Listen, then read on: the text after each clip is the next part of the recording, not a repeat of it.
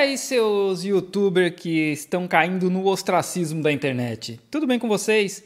Que é isso aí, né? O Nando Moura tá, tá ficando para trás e tá todo dia tentando cavar uma polêmica para ver se ele volta, né, o que ele era antes. E antes que alguém venha me dizer que eu tô dando palco para ele, ele tem 3 milhões de inscritos. Ele é dono do palco. O que eu tô tentando é trazer gente, de, alguns desses 3 milhões para cá. Mas vamos aí ver o que, que ele está falando sobre. Você sabe que você é um burguês? Está um dia chuvoso aqui hoje. Estão conseguindo ouvir o barulho? Uma coisa que tem acontecido é que jovens dinâmicos na internet, social... Jovens dinâmicos. Ele veio com essa parada aí, acho que da época do, do, do, do das tretas lá da Coreia do Norte. O que, que é jovem dinâmico, cara?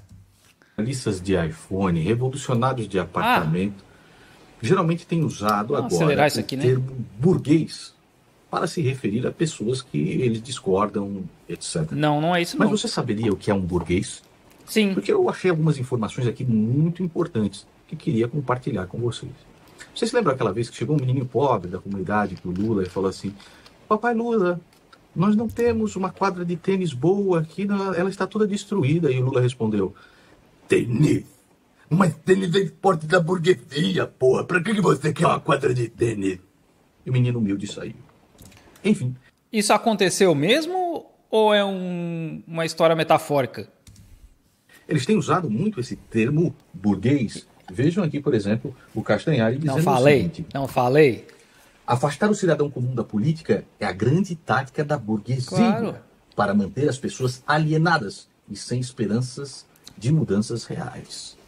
A mudança vai vir com o papai Lully, não é verdade? Ele que fez o L, fez bem feito, está aqui no helicóptero. Isso aqui é helicóptero, maravilhoso. Hum.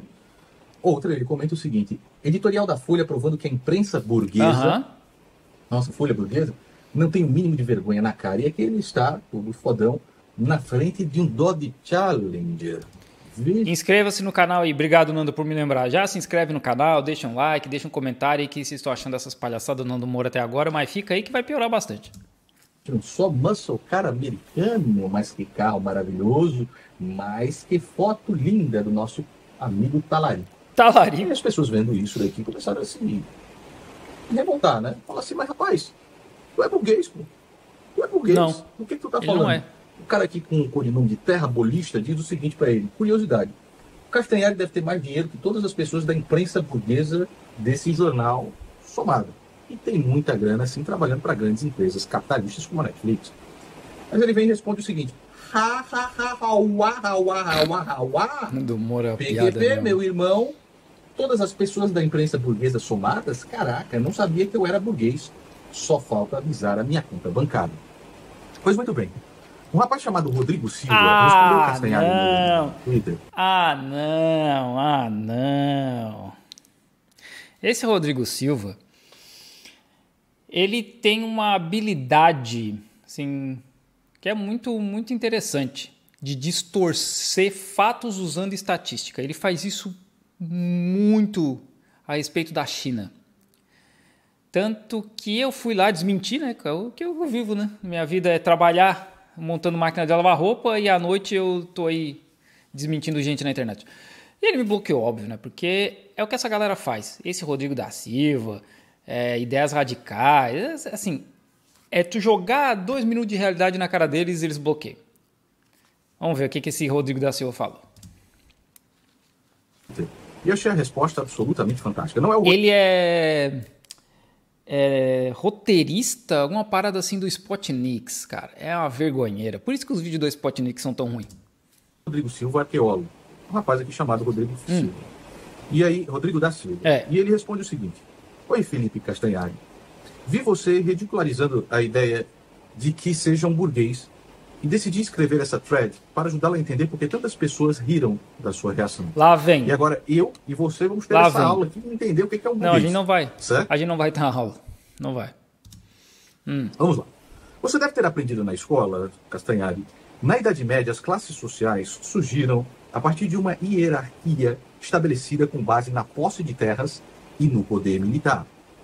Essa hierarquia era composta por três grandes grupos: a nobreza, o clero e os camponeses. E não tinha classe social antes disso, né? Tava todo mundo vivendo de boa. Se você não dormia na sala de aula, aprendeu que a Idade Média Europeia foi marcada por uma organização de trabalho predominantemente rural. Mas talvez você não saiba disso. Algumas coisas bem peculiares aconteceram no século XI, alterando radicalmente essa Hum. história. Primeiro, um período de aquecimento incomum conhecido como período quente medieval, que foi do ano 950 ao ano 1250. Sim, o mundo começou a esquentar, o que permitiu o cultivo de safras em áreas antes muito frias para a agricultura, aumentando as áreas cultiváveis da Europa medieval. Ó a volta que o cara tá dando pra tentar provar que o Felipe Castanhari é burguês, o que ele não é, né? nesse período mais quente aí, teve mais ah, terras férteis e o pessoal pôde cultivar mais. Depois, graças a esse movimento, rolou também um aumento na criação de animais, acompanhado de, primeiro, melhoria das técnicas agrícolas, como a introdução do arado, né, de aiveca. Diabo é uma aiveca? Vá procurar aí. que Também não sei. E segundo, Você novos sabe o que é a Iveca? Deixa nos comentários aí que eu vou ler depois. sistemas de irrigação. E tudo isso possibilitou o quê? A resposta é fácil. Mais comida na mesa das pessoas. Hum. Ele continua aqui. Aliás, isso aqui daria um bom um bom episódio do canal Nostalgia, hein? Você está ganhando muito dinheiro para fazer para Netflix. Não. Você tem que compartilhar esse dinheiro aí da burguesia, dessas big techs. Entre 900 Então, e... esse é. Vai chegar no fim do vídeo, né? E a gente vai chegar a essa conclusão junto. Mas assim, esse é o ponto que tu falha em entendendo do Moura. Ele não é dono da Netflix. Então ele não tem como compartilhar o dinheiro da Netflix. Ele recebe um salário. Recebe um salário, ele é trabalhador.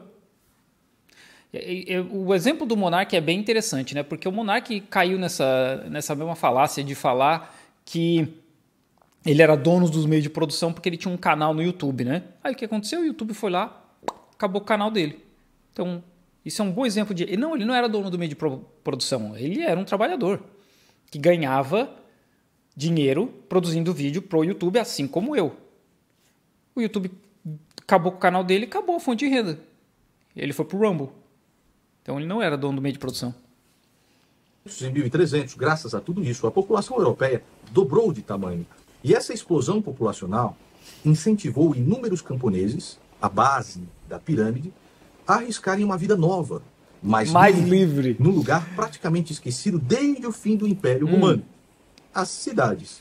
Mais livre. Essa massa de imigrantes passou O cara me dizer que morar nas cidades é mais livre. morar em cidades mercantis conhecidas como burgos, como Londres, Veneza e Paris. Aliás, vem da França a origem dessa palavra. Os moradores desses burgos eram chamados de bourgeois.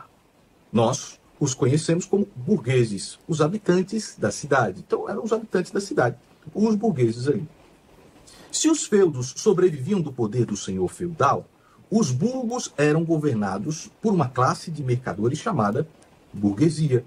A burguesia era formada essencialmente por comerciantes e artesãos. Nem miserável, nem pobre. Ela é a origem do que nós chamamos hoje de classe média. E aí ele vai dizer, ele vai tentar jogar essa, essa lorota aí de que o Castanhari é burguês porque tem alguma relação com essa fita aí. Que não é, né?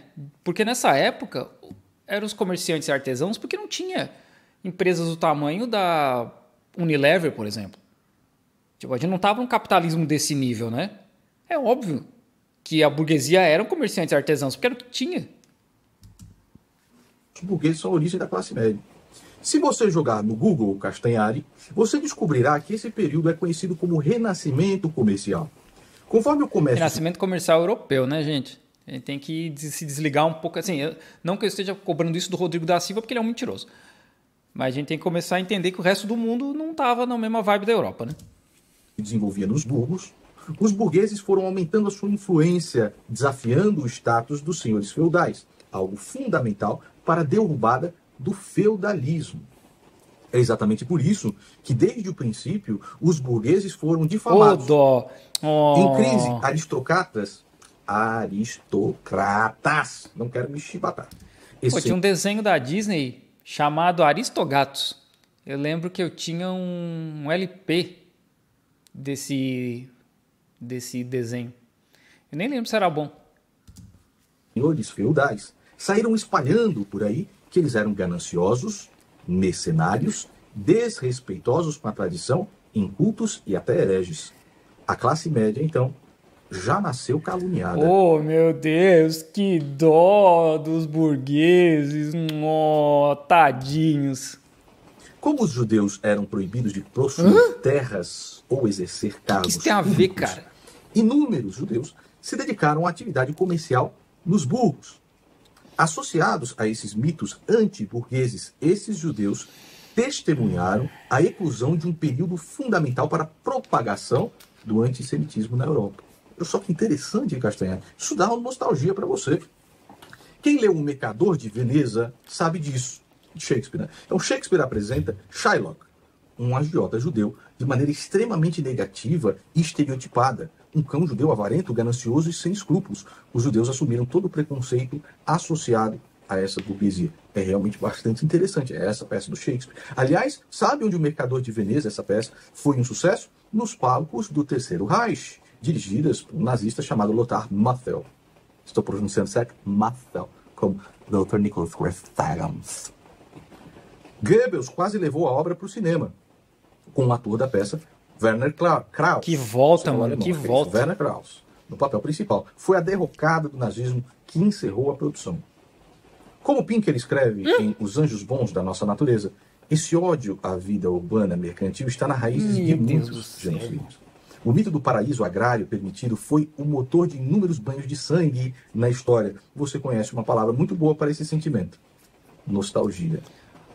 O que, que judeu e nazismo tem a ver com essa fita aí, né? Para que, que ele trouxe isso aí? Não tem nada a ver. Mas apesar do mito, burgueses colaboraram positivamente de inúmeras formas para é. o mundo, criando um Você já agradeceu um filho de herdeiro hoje? Missões políticas que evoluíram anos depois na democracia e nos direitos humanos. A democracia, eu não falei que esse Rodrigo da Silva ele manipula as paradas para criar uma narrativa. A, democracia, até onde eu me lembro, assim, o conceito, né, inicial foi criado na Grécia, né, bem anos muito muito antes. E nessa época aí, de, de burgueses, etc., eles trabalhavam com igreja, eles trabalhavam com reis. E a burguesia ganhou tanto poder que eles tiravam rei, colocavam rei. Então era tudo junto, mano. Direitos humanos? Que direitos humanos, cara? Meu Deus do céu. Produzindo inovação tecnológica, aumentando a educação na Europa? Sim, é claro. Né? Os burgueses são muito bonzinhos. Eles trouxeram democracia e direitos humanos. A gente vê muito bem isso patrocinando a arte e a cultura, produzindo inovação tecnológica e aumentando a educação na Europa. Possibilitou a educação no mundo inteiro. Claro, né? claro. Quando Marx escreveu sua teoria, já no século XIX, as cidades, com suas fábricas e instituições políticas, estavam no centro do mundo. Já haviam até metrôs em Londres. Já havia, não haviam. Estou, estou prestes a me chicotar de novo. Já havia até metrô em Londres. Não é haviam. Ele não flexiona este verbo. Minha tia vai ligar aqui me descatitando. Para ele, a sociedade era dividida em duas classes, os burgueses e os, os dominantes e os, o proletário dominados. E aí um adendozinho aí, né? Quando rola lá a Revolução Industrial e aí do metrô em Londres, etc., quem paga por isso, né? Tem uma teoria muito, muito forte de que a gente pagou. As Américas.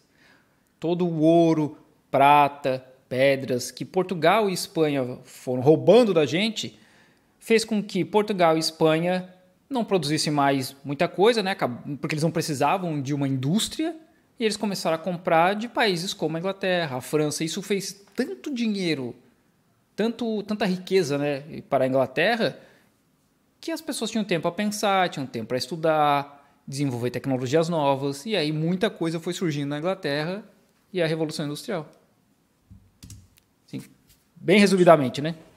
Marx via os proletários como uma classe oprimida, explorada e ignorante, entregue a um exaustivo trabalho industrial com pouco poder ou controle sobre a sua própria vida e uma imensa dificuldade em satisfazer suas necessidades básicas de alimentação, abrigo e vestuário. E não era assim? Com criança trabalhando 10, 12 horas por dia nessa época? Criança. Porque as crianças eram usadas para limpar chaminé, porque um adulto não cabia. uh, em fábricas em, onde eles precisavam de, de pessoas pequenas né, para trabalhar em coisas menores, eles usavam crianças, e eles falam só de criança, nem adulto, então, nem se fala, né? Era, trabalhava todo dia 14 horas por dia. Era um troço absurdo. Mas isso não era explorado? Isso não era uma exploração? Não, né? A palavra não foi escolhida por acaso. Proletário tem a origem no latim proletários, o cidadão romano pobre que não tinha, que tinha tão poucos bens, tá? cuja sua única contribuição para o era Estado era o papel como pai de família, ou seja, como produtor de filhos, Sim. a sua prole, daí proletariado. Mas em 2023, a visão marxista de um mundo dividido em duas classes sociais é, no mínimo, grosseiramente simplista. As sociedades modernas. Lembrando que ninguém falou isso, né? A única coisa que o, que o Castanhari falou foi: eu não sou burguês. Ele nunca disse que a sociedade é dividida só em duas paradas. Esse Rodrigo da Silva que meteu nazismo, meteu antissemitismo nessa parada e sem motivo nenhum, né? Para tentar explicar o ponto dele. Elas possuem uma estrutura social muito mais complexa e diversificada do que no passado. A classe média, aliás, é a maior classe social do mundo. Como escreveu o sueco Hans Rosling, espero que se pronuncie assim, porque eu também não falo sueco. Não. Classe média é uma invenção para fazer com que a gente acredite que a gente está mais perto dos ricos. É óbvio né, que existem várias divisões em termos de renda para a gente saber né, quem ganha muito menos, quem ganha mais ou menos, quem ganha ok, quem ganha mais, sabe? Isso é, é importante para várias, várias esferas da, da, da, nossa vida como uma sociedade, até em questão de, de aliviamento da pobreza, que é o que a China fez, etc. Né? Mas se usa muito isso de classe média para o tiozinho que tem uma padaria e uma Fiorino achar que ele pode ser o Elon Musk se ele continuar trabalhando. Essa é uma das ideias da invenção da classe média. Para o cara achar que não, eu vou me esforçar, se eu me esforçar, eu também posso chegar lá. O Elon Musk chegou, o Jeff Bezos chegou. Por que, que eu não posso? É, essa é, é uma das ideias, né? Não. Em termos de renda, a humanidade saiu, nas últimas décadas, de um gráfico de camelo para um mundo dromedário. Obrigado, China. Né? Quem que tirou 800 milhões de pessoas da pobreza extrema? E a Índia está vindo nessa mesma vibe. Preste atenção aí no, no gráfico. Não tá? foi por conta dos países Desde capitalistas. No século XIX, o mundo viu a emergência de Primeiro, novas classes sociais. Segundo, novos tipos de trabalho. Terceiro, direitos trabalhistas. E quarto, o estado de bem-estar social. Direitos trabalhistas e estado de bem-estar social, quem lutou por isso não foram os burgueses, né? Porque o empresário não está nem aí se o cara vai ter que trabalhar 20 horas ou, ou 10 horas. Ele quer mais que o cara trabalhe muito, né? Sempre rolam na, na internet um, um recorte de um jornal de 19, 1800 e alguma coisa, né? A respeito do fim da escravidão, dos empresários brasileiros reclamando que ia quebrar as empresas, que se acabasse com a escravidão, as fazendas iam quebrar, as empresas iam quebrar, riquezas iam sair do Brasil, porque era impossível continuar produzindo no Brasil sem escravidão. Então, direito trabalhista estado de bem-estar social não vem de graça. Vem por muita luta. De quem? Além de uma mudança na natureza da propriedade com a ascensão dos serviços e das propriedades intelectual e acionária. É evidente que os super ricos possuem um poder de influência, de influência em 2023, mas nós vivemos num planeta muito mais descentralizado do que no século XIX. A ideia de que uma classe controlada que bicho maluco, mano. de forma homogênea é tão boba que namora com as conspirações dos Illuminatis, dos reptilianos. E quem que falou disso, cara? Eu não estou dizendo que esse Rodrigo da Silva é um viajão.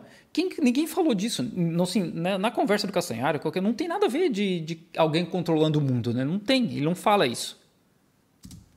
Tudo mais. O mundo contemporâneo não é um livro escrito por uma classe poderosa especial mas uma carroça que avança numa estrada esburacada, com interrupções e deslizes puxadas por diferentes grupos de pressão. Mesmo um garoto pobre de Osasco pode enriquecer trabalhando no próprio quarto. Pode, pode, assim como o Whindersson, que era um moleque pobre do Piauí, enriqueceu. E quantos não vão enriquecer? Quantos? Para um Neymar, quantos dezenas de milhares de jogadores ficaram para trás porque não conseguiram chegar lá. É isso, essa é a diferença. Um cara vai chegar lá. Um Mark Zuckerberg, um Elon Musk, um Neymar, um Castanhari. Ou 10 num mundo de, 7, de 8 bilhões de pessoas. É isso, essa é a diferença. É verdade. É claro que isso não significa que basta se esforçar para enriquecer, ou que todos têm acesso às mesmas oportunidades. Longe disso, nós ainda temos um intenso desafio pela frente. Mas no passado, o seu destino era decretado pelo seu sangue, e hoje é possível mudá-lo ligando uma câmera. Bom, ele começa pelo menos admitindo que, né, que não basta só se esforçar, porque não é, né? Meritocracia não existe. Mas aí no fim ele caga, né? O destino não é decretado pelo sangue.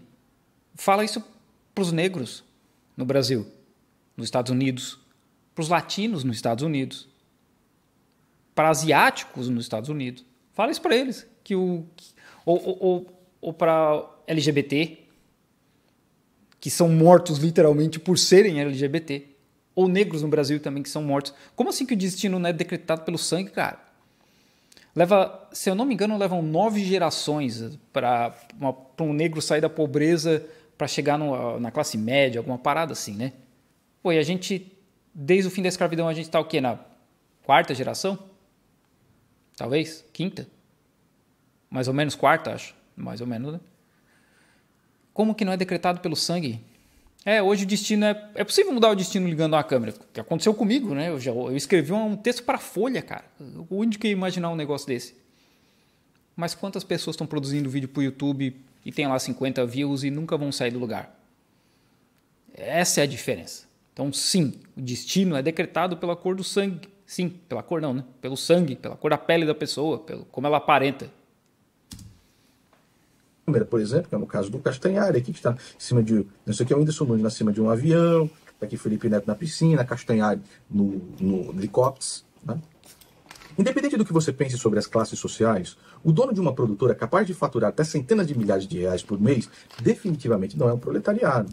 É no caso. É no máximo um pequeno burguês. Por quê? Porque, de novo, ele não é dono do canal do YouTube, ele não é dono da Netflix, ele não é dono da Globo. Ele simplesmente pode ter o contrato cancelado, simplesmente pode ser demitido. Ele simplesmente pode falar: olha, a gente cancelou o teu, teu show e acabou. E acabou. O cara não tem mais trampo. No caso, o próprio Castanhari. Na verdade, o Brasil, com um salário acima de 28 mil, está. No Brasil, perdão, vamos continuar. Na verdade, no Brasil, com salário acima de 28 mil reais, ele está no 1% mais rico, no topo da pirâmide. Um cínico responderia que talvez nesse momento da vida você não poderá deixar de trabalhar para manter seu padrão de vida. Um cínico não, né? Uma pessoa honesta.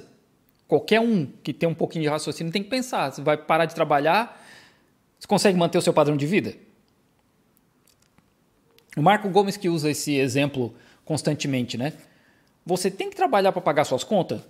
Parabéns, você é um trabalhador. Mas o que não falta na história é a falência de industriais, donos de jornais, é, veículos, TV, acontece, né? herdeiros e ricos de toda sorte. Tem pessoas que tomam decisões erradas, né? acontece. Você, Castanhari, é definitivamente um burguês, um empreendedor urbano capaz de empregar pessoas e influenciar milhões de seguidores com acesso a bens e serviços que um industrial rico da Inglaterra vitoriana jamais sonharia. E cá entre nós, Castanhari, não há nada de errado nisso. Então, como eu falei, né? O Rodrigo da Silva dá essa volta toda, mete antissemitismo e uma caralhada de coisa para simplesmente, olha, você é um burguês. Não, como eu falei, no máximo ele é um pequeno burguês, no máximo. Porque se o Castanhari não produzir conteúdo, ele não consegue manter o nível de vida dele. Se o YouTube derrubar o canal dele, acabou. Se a Netflix cancelar o show dele, acabou. E aí? E o que, que ele faz da vida? O que, que ele vai fazer da vida? A única coisa que ele, faz, que ele sabe fazer da vida hoje é produzir conteúdo. Se essas ferramentas simplesmente falam a gente não te quer mais, o que, que ele vai fazer da vida? Isso é uma aula, rapaz. Muito obrigado, Rodrigo da Silva, por essa aula que você deu a mim e você Ah, deu... o Rodrigo da Silva é um mentiroso. A minha audiência aqui. Muito obrigado por essa aula.